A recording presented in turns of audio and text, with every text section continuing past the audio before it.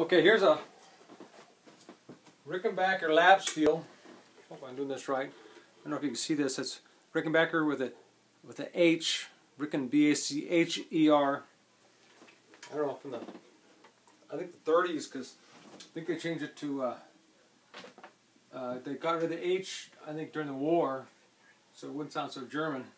So I think the 40s was uh, uh was with a K E R I think. Anyway.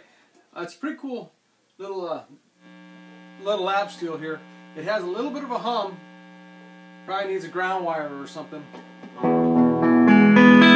It's pretty cool.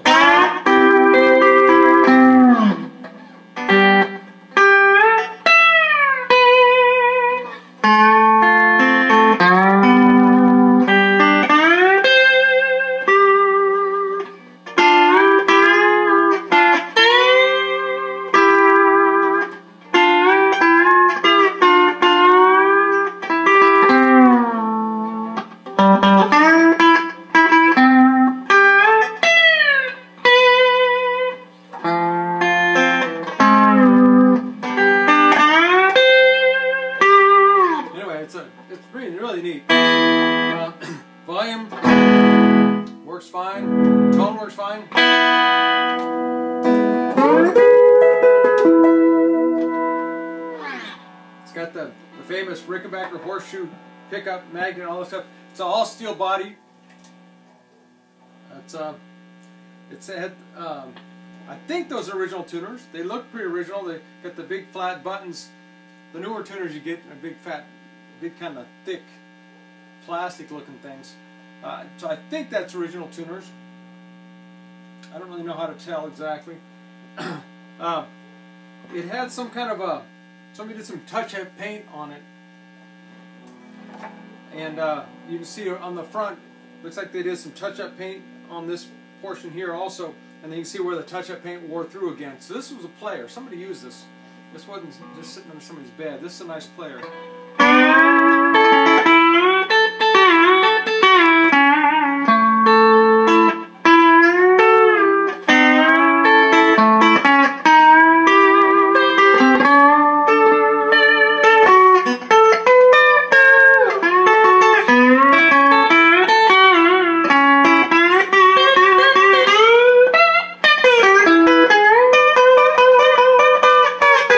The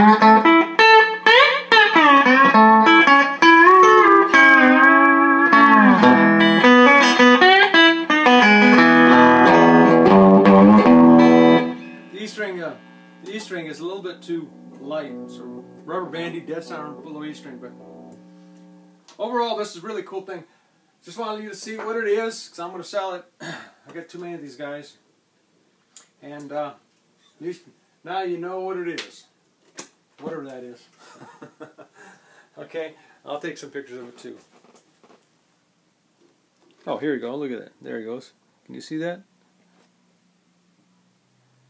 Right there, Rickenbacker Electro.